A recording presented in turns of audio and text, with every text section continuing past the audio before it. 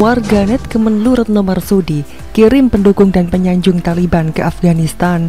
Ditulis oleh Japutra di seword.com Halo selamat menyaksikan channel Tanda Seru Melalui akun Twitter resmi Menteri Luar Negeri Retno Marsudi menyampaikan bahwa evakuasi terhadap warga negara Indonesia dari kota Kabul, Afghanistan telah berhasil dilaksanakan. Keberhasilan untuk mengevakuasi WNI tentunya berkat kerja keras pemerintah. Hal ini didukung pula dengan fasilitas akomodasi yang menggunakan pesawat TNI Angkatan Udara yang saat ini sudah berada di Islamabad, Turki dan melanjutkan penerbangan akhir. Warganet memberikan komentar kabar baik Retno Marsudi lantaran pemerintah Indonesia telah berhasil mengevakuasi WNI dari kota Kabul. Namun tak sedikit pula warganet memberikan sindiran kepada mereka yang mendukung dan menyanjung Taliban untuk dikirim ke Afghanistan menjadi warga negara di sana. Bahkan ada pula beberapa warganet secara terbuka menyebut nama-nama tokoh yang menurut mereka pantas untuk dikirim ke Afghanistan. Sebut saja nama mantan Wakil Presiden Yusuf Kala, Rektor Universitas Ibnu Khaldun Musni Umar, politisi Partai Umat Mustafa Mustafa Nahrawardaya dan lain-lain. Berikut ini beberapa komentar para warganet yang telah ditulis di bawah komentar unggahan Menlu Retno Marsudi.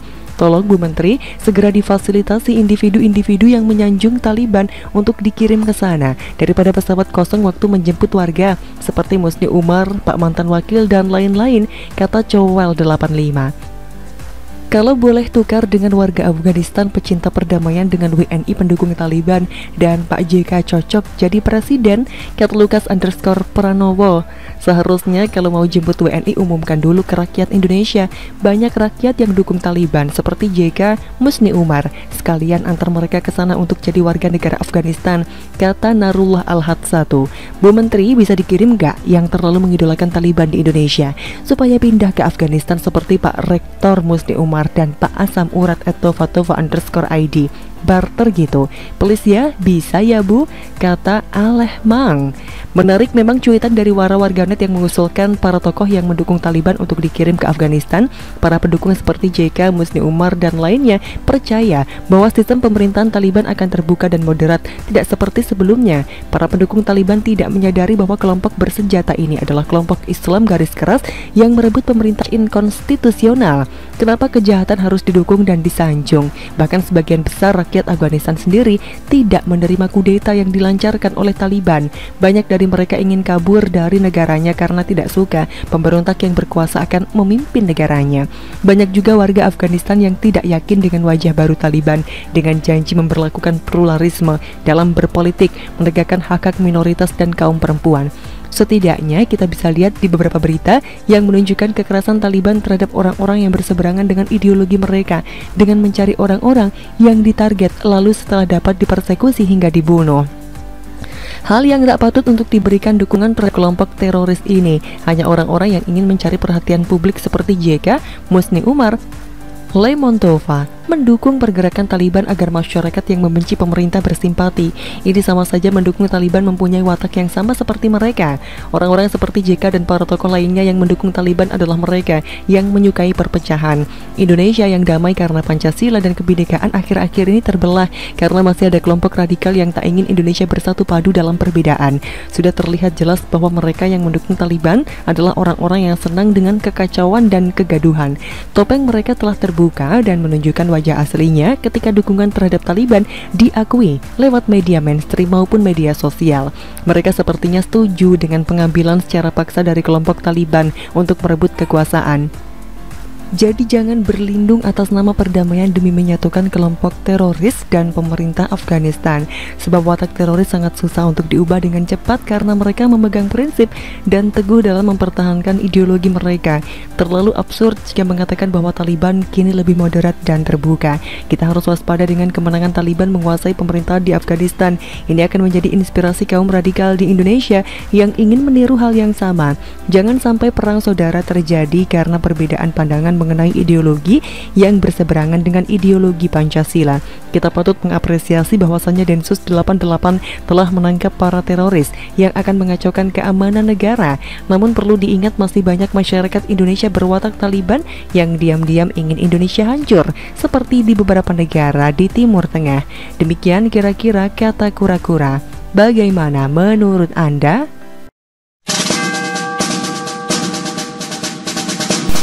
Air matamu bukan air mata yang menyejukkan Ditulis oleh Rasto di seaworld.com Halo selamat menyaksikan channel-channel tanda seru. Kadang kita tidak bisa selalu bersikap idealis dalam arti mempertahankan prinsip-prinsip yang mengedepankan pandangan ego kita. Bukan berarti kita memilih sikap inkonsisten terlebih menjadi seorang hipokrit yang tidak memiliki ketaatan pada prinsip yang menjadi asas ideologi pemahaman. Sebab konsistensi bukanlah sikap kesetiaan pada diksi, narasi, atau strategi, atau sekedar gimmick. Karena hal itu merupakan teknis bukan substansi. Esensinya terletak pada apa yang mendasari tujuan bagaimana memperjuangkan dan seperti apa cara yang dipilih untuk mewujudkan. Tentu saja populisme harus menjadi dasar tindakan bukan dalam arti menghalalkan segala cara yang mengorbankan kepentingan umum masyarakat.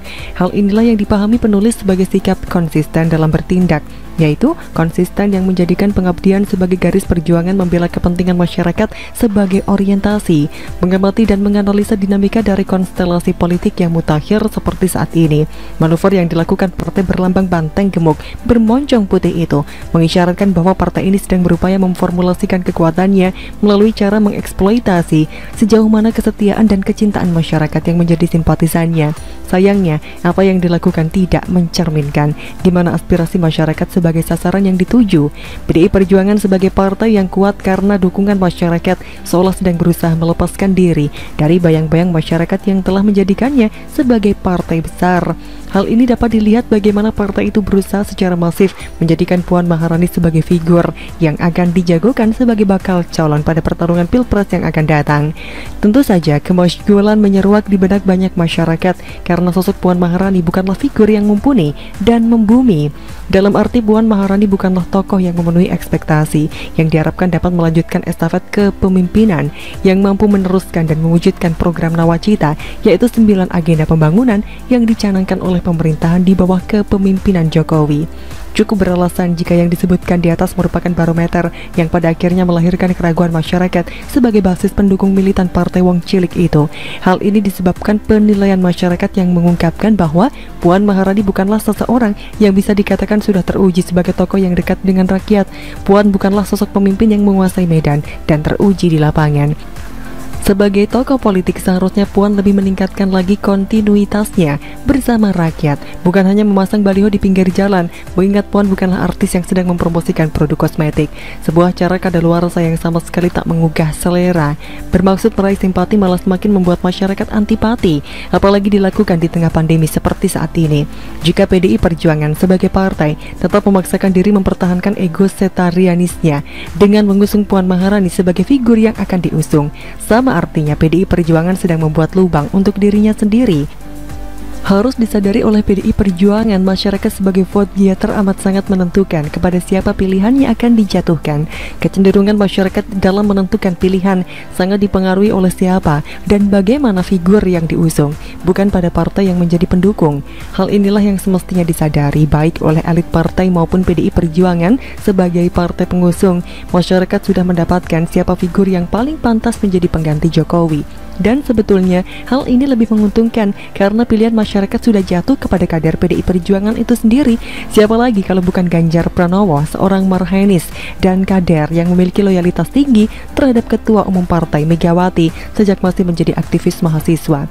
Dan pengabdian dirinya sebagai seorang gubernur selama dua periode cukup mengharumkan PDI Perjuangan sebagai partai yang memiliki basis masa mayoritas. Jika kesempatan ini tidak digunakan sebaik-baiknya oleh PDI Perjuangan, sama artinya PDI Perjuangan melakukan kesalahan besar. Beberapa pandangan itu adalah pertama, PDI Perjuangan telah mencampakkan kadar terbaiknya yang tak perlu diragukan loyalitasnya. Kedua, Ganjar Pranowo memiliki elektabilitas yang tinggi dan dalam setiap survei grafiknya selalu meningkat. Hal ini merupakan buah kedekatannya dengan masyarakat yang dipimpinnya dan sekarang masyarakat luas mulai akrab dengan nama Ganjar Pranowo. Ketiga, sikap elit dan kader senior partai telah bersikap tidak populis dengan mendiskreditkan Ganjar Pranowo sebagai sesama kader yang sepantasnya dapat bersikap egaliter dan utilitarianis. Keempat, sehubungan dengan poin di atas bukan hal yang tidak mungkin. Sikap kurang memanusiakan ini akan disikapi secara frontal oleh Ganjar Pranowo dengan menerima pinangan partai lain yang memang sudah menargetkan Ganjar sebagai figur yang dianggap sangat memenuhi kriteria yang diharapkan mampu melanjutkan estafet kepemimpinan dan dan agenda nawacita pemerintahan saat ini. Di sinilah pergolakan pemikiran akan terjadi dalam diri seorang Ganjar Pranowo antara kesadaran ideologis yang berorientasi pada pengabdian dengan loyalitas yang telah diberikan kepada partai namun telah bersikap tidak fair atas dirinya. Di sinilah seorang Ganjar harus menentukan pilihan, mengabdi kepada kepentingan partai atau menjadikan pengabdian terhadap bangsa dan negara sebagai kepentingan yang jelas jauh lebih besar sebagai pilihan. Saat ini baru Ganjar Pranowo lah yang bisa dikatakan memiliki kans yang sangat luas untuk menggantikan Jokowi. Di samping kemampuannya dalam mengelola pemerintahan dan konsistensinya dalam memperjuangkan kepentingan rakyat, pada titik inilah muncul pertanyaan, apakah mengambil tanggung jawab sebagai pemimpin negara yang dapat diembannya sebagai sikap aplikatif pengabdian merupakan sikap inkonsisten? Apakah menjadi petugas partai yang cenderung memaksakan kehendak segelintir partai jauh lebih bisa dikatakan konsisten, sementara PDI Perjuangan sebagai partai yang berada dalam lingkaran kekuasaan malah ikut-ikutan latah mengkritik pemerintah. Apakah bisa air mata Megawati menghapus sikap anak buahnya yang telah berbuat tidak patut dengan menyalahgunakan pemerintah? Akhirnya penulis memiliki kesimpulan, tidak selamanya partai dapat diharapkan menjadi pembela orang yang didukungnya, apalagi konsisten membela kepentingan masyarakat yang dibela partai hanyalah kepentingan kelompoknya semata. Air matamu bukan mata air yang menyejukkan. Bagaimana menurut Anda?